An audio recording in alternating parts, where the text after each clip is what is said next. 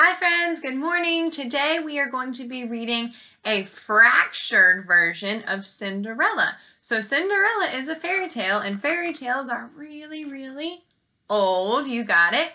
And so the fractured version is when authors have taken an old fairy tale and they have changed part of the story. So today we are going to read Prince Cinders by Babette Cole.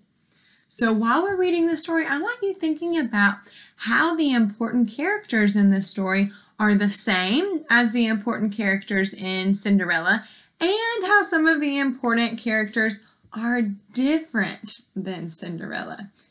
Okay, and thank you so much to Putnam Books for giving us permission to read this story. Prince Cinders by Babette Cole. I already noticed one difference in the characters.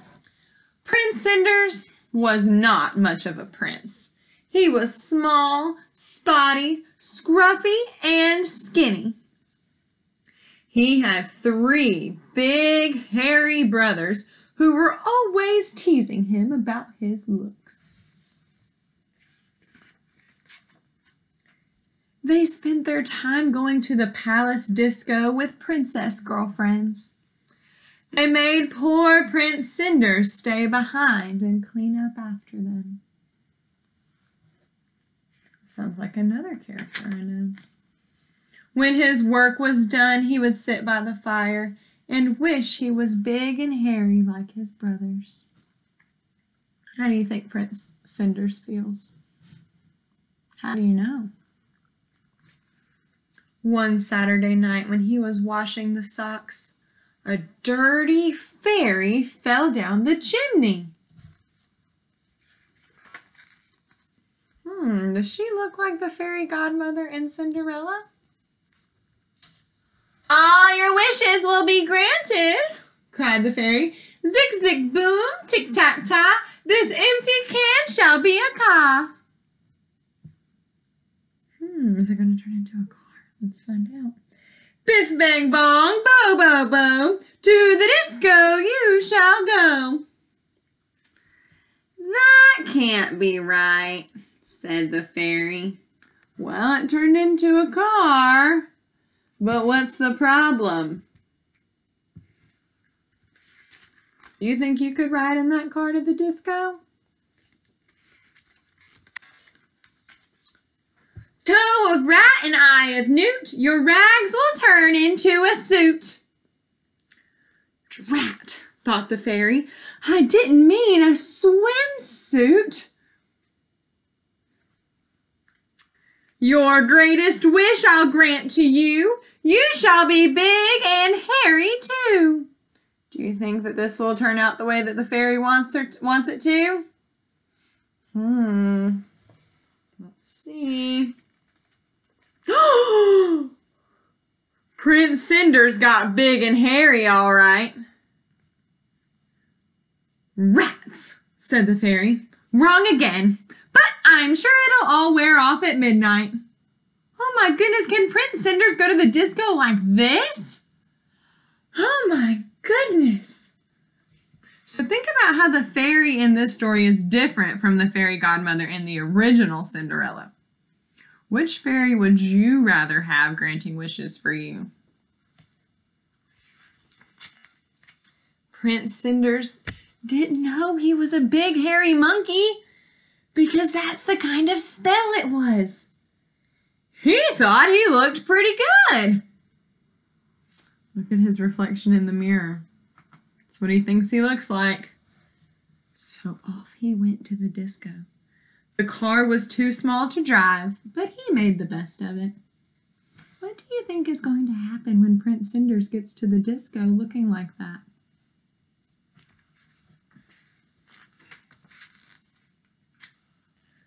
But when he arrived at the Rockin' Royal Bash, there he is, he was too big to fit through the door. Poor Prince Cinders. Here his brothers having a great time. He decided to take the bus home. A pretty princess was waiting at the stop. the princess. When's the next bus? he grunted. How do you think the princess feels about Prince Cinders? How would you feel if a monkey in a swimsuit came up to you while you were waiting on the bus? That would be craziness. Luckily, midnight struck. What happens to Prince Cinders at midnight? What do you think is going to happen next at the bus stop?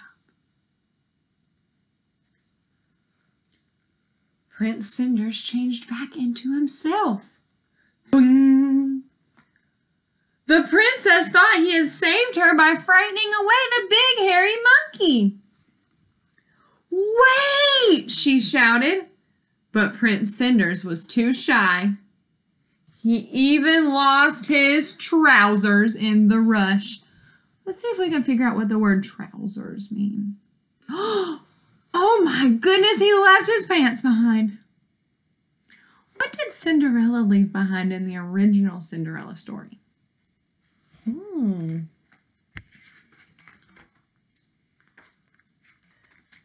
The princess was none other than the rich and beautiful Princess Lovely Penny. She put out a proclamation to find the owner of the trousers.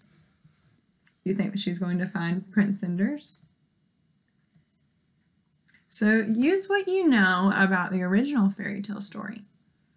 What do you think they're going to do to find the owner of Prince Cinder's trousers? Let's see. See if it's the same as what they did in Cinderella or if it's different. The Princess Lovely Penny decrees that she will marry whoever fits the trousers lost by the prince who saved her from being eaten by the big monkey. Fitting sessions begin today. Princess Lovely Penny. Every prince for miles around tried to force the trousers on. But the trousers refused to fit any of them.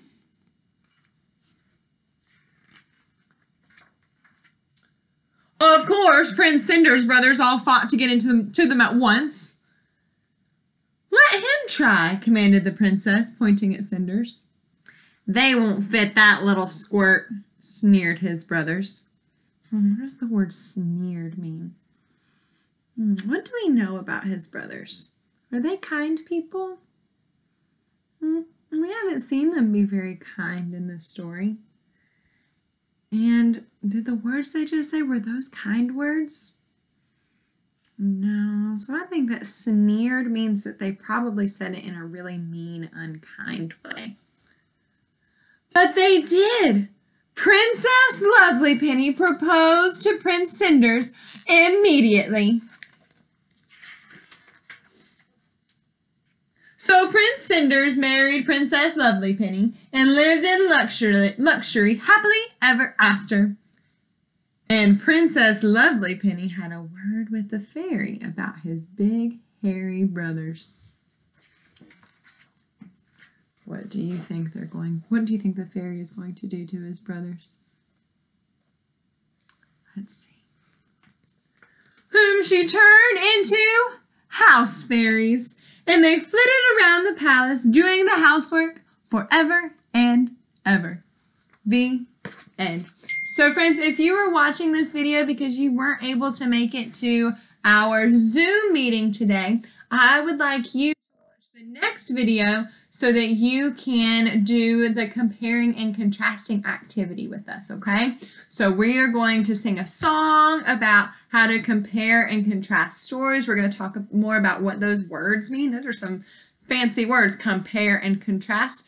And then we're going to make another Venn diagram and we're going to talk about how Prince Cinders is the same as Cinderella and how Prince Cinders is different than Cinderella. So watch the next video to do the activity with us, okay? Have a great day.